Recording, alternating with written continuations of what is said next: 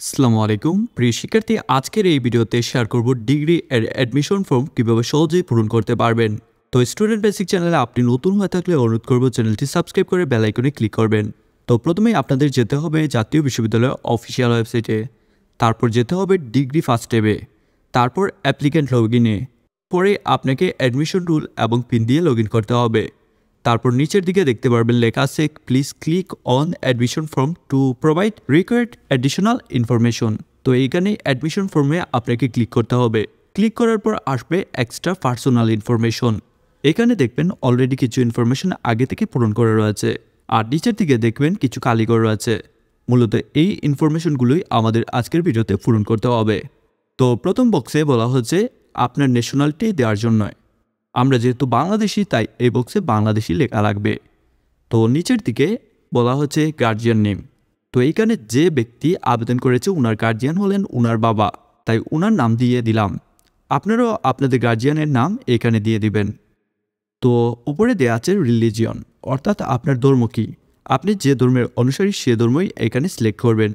আর নিচের দিকে দেওয়া আছে গার্জিয়ান মোবাইল নাম্বার তো এখানে আপনার গার্জিয়ানের মোবাইল নাম্বার দিয়ে দিবেন। তো নিচের দিকে আবার লেখা দেখবেন আছে father mother guardian annual income টিকে অর্থাৎ আপনার বাবার কত ইনকাম তা এখানে লিখতে হবে। এখানে একটা কথা বলে রাখা ভালো যে, যারা উপবৃত্তি নেবেন তারা এখানে কম ইনকাম দিবেন। তাহলে উপবৃত্তি পাওয়ার চান্স বেশি থাকবে।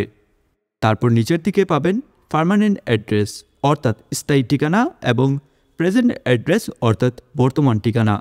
যদি আপনার অ্যাড্রেস ভিন্ন রকম হয় তবে ভিন্ন রকমই দেবেন। আর যদি দুটি একই হয়, তবে একই দিবেন। তো প্রথমেই আপনাকে এখানে ডিস্ট্রিক্ট সিলেক্ট করতে হবে।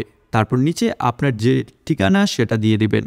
এখানে যেরকম লেখা আছে, এরকমই দেওয়ার চেষ্টা করবেন। শুধু গ্রাম ঠিকানা আপনারটা দিয়ে দিয়েন। আর যেহেতু আমার ঠিকানা একই, তাই আমি প্রেজেন্ট অ্যাড্রেস ও সেম কপি দিয়ে দিলাম। তারপর আপনাদেরকে একবার চেক করে নিতে হবে সব কিছু ঠিকঠাক আছে কি না অবশ্যই এখানে সব কিছু ইনফরমেশন ঠিকঠাকই দিতে হবে।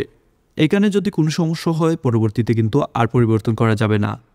তারপর আপনাদেরকে এখানে সেভ ইনফরমেশনে ক্লিক করতে হবে আর এরকম একটা পিডিএফ ডাউনলোড করে নিতে হবে। এই ফর্মটি কিন্তু কলেজে জমা দেওয়া লাগবে। তাই এটা ডাউনলোড করে এক কপি বের করে নিতে হবে। তো এই পর্যন্তই ছিল আজকের এই ভিডিও